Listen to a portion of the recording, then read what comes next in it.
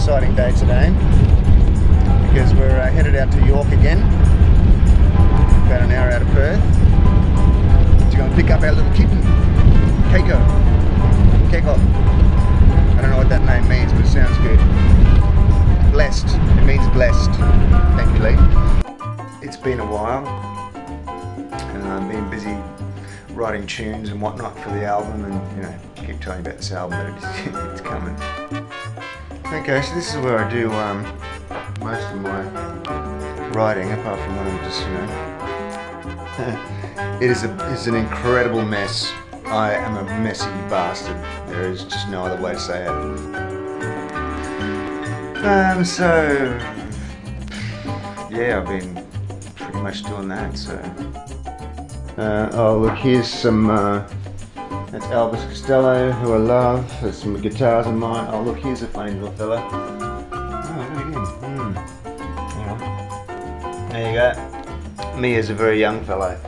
I'm a little bit, a little bit spaced out. I think. I think my hair's gone into, I don't know, some bizarre mode. Oh look, it's Elvis again. Some random weird person but on a much lighter and much more fun note.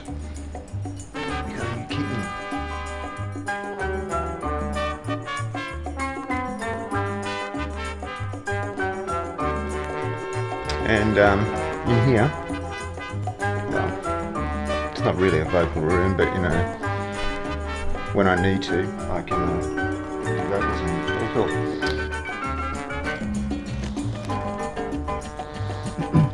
I'm the one that give him water every day, mine. I don't know why I put over there. There must be something interesting. Guess what? It's a new cat. We bored out of my brains again. Um,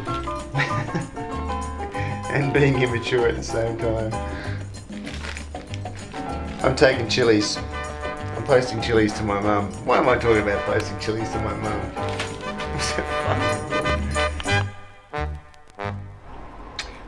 well, that was lame.